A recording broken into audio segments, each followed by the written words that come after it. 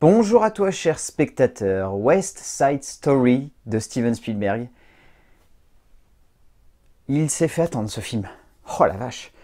Euh, J'ai pas grand chose à vous dire en introduction. Il y, a, tout pour que ça donne envie.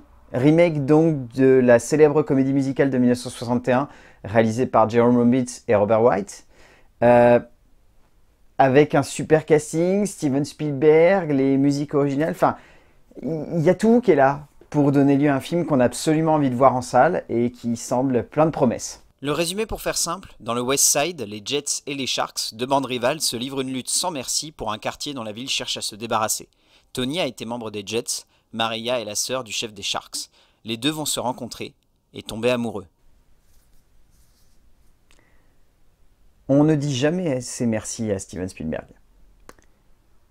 Une énième fois, faut lui dire merci. West Side Story est très bon. Euh, sa légitimité en tant que remake pouvait être questionnable assez facilement.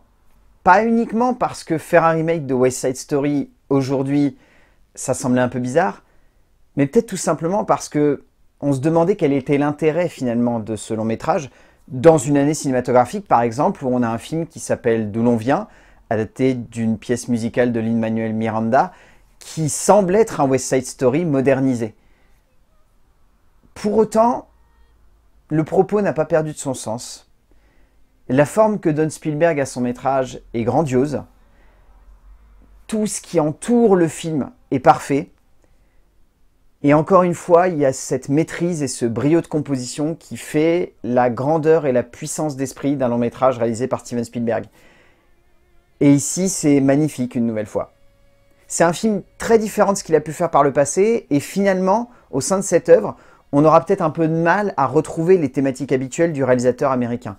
Mais pour autant, il y insuffle la force de son cinéma. Il y insuffle la forme, il y insuffle l'épique, il y insuffle le grandiose, il y insuffle l'émotionnel, l'humain au milieu de tout ça. Il arrive à être minutieux dans le grandiose. Le film a très peu de défauts, on pourrait lui reprocher d'être un peu long, mais le film original était déjà un peu long du haut de ses 2h33. Et ici, finalement, les 2h37 passent tellement vite, on n'a pas envie de quitter ce lieu. On n'a pas envie de quitter ces personnages, même si on le sait, l'issue de cette œuvre est tragique, même si on le sait, l'issue de cette œuvre est, est romanesque au possible. C'est vraiment magnifique et c'est un film qui fait plaisir à voir au cinéma. Je pense que c'est le mot qui convient. Indéniablement, la figure des modèles que l'on cherche, si ce n'est à surpasser, en tout cas à égaliser aujourd'hui par le biais du remake, est devenue une arlésienne pour de nombreux cinéastes, accompagnant et chérissant cette idée que le 7 art se doit de se révolutionner, mais également de conduire le passé.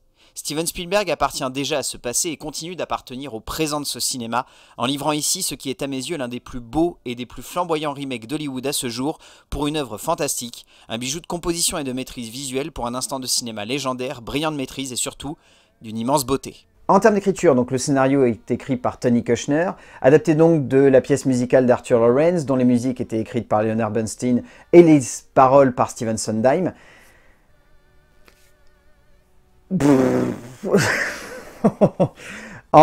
L'écriture de Kushner arrive à capter une nouvelle fois la grandeur d'esprit de cette histoire intemporelle, qui était elle-même en son temps déjà une réadaptation très libre de Roméo et Juliette par William Shakespeare. Ça ne s'en cachait jamais et Lawrence avait clairement en tête lorsqu'il a conçu son œuvre que ça aurait ce sens-là et que ça aurait cette puissance. Dans ce contexte, encore une fois, il y a du coup un, un rapport à la société américaine et un rapport à la culture qui est très fort et qui permet à l'ensemble de l'écriture de résonner comme très moderne finalement, malgré l'ancrage temporel qu'a envie de donner Tony Kushner à son récit. On est dans la même époque que le premier et on ne veut pas la quitter. Tout fonctionne ici. Tout fonctionne encore une fois parce que cette histoire, elle a un sens, elle a un sens profond parce qu'elle convoque des émotions profondes. Elle convoque la grandeur d'esprit et la puissance d'une tragédie. Elle convoque le romantique et le romanesque de n'importe quelle aventure cinématographique. L'écriture convoque ici tout ce qui fait une grande œuvre de cinéma. Il n'y aurait pas grand-chose de plus à dire, on pourrait presque s'arrêter là, parce que Kushner arrive à faire en sorte que son écriture, même si elle copie par beaucoup d'aspects ce qui avait été fait déjà en 61, il y a encore du sens à tout ça.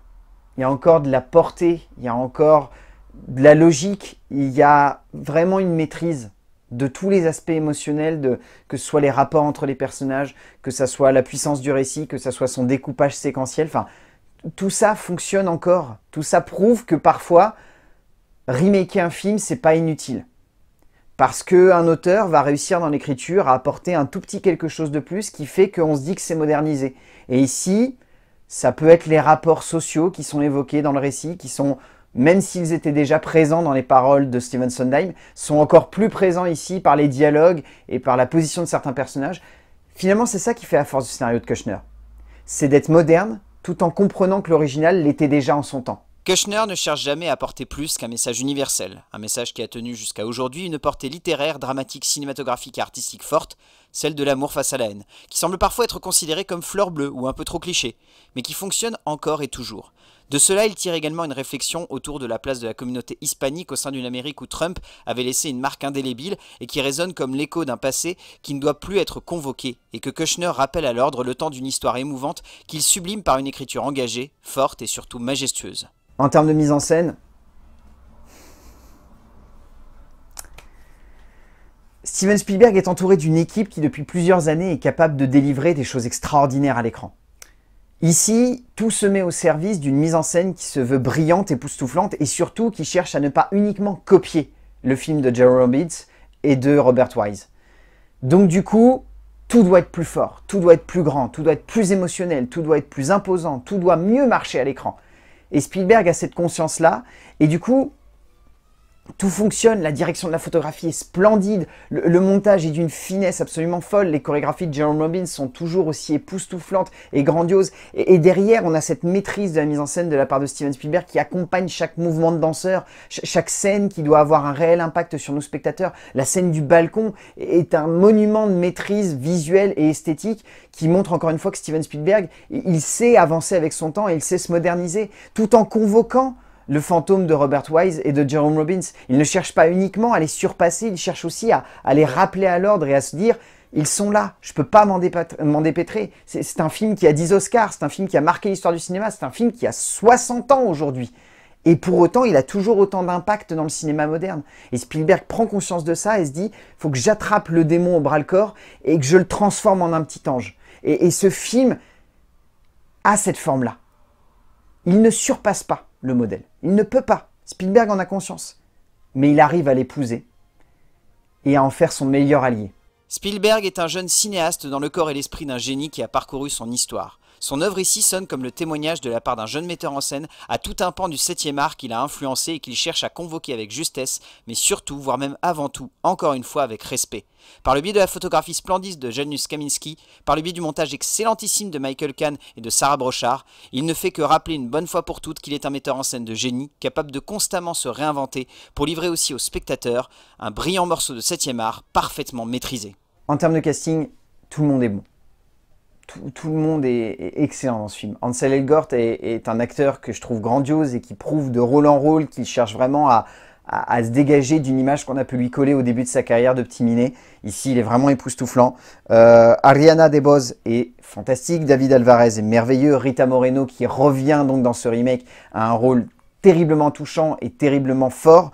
Euh, Brian Darcy James, Corey Stoll, Mike Feist, euh, Josh Andres Rivera, Iris Menas, David Aviles Morales, Sébastien Serra. On pourrait citer tout le casting, tant tous les acteurs sont extraordinaires.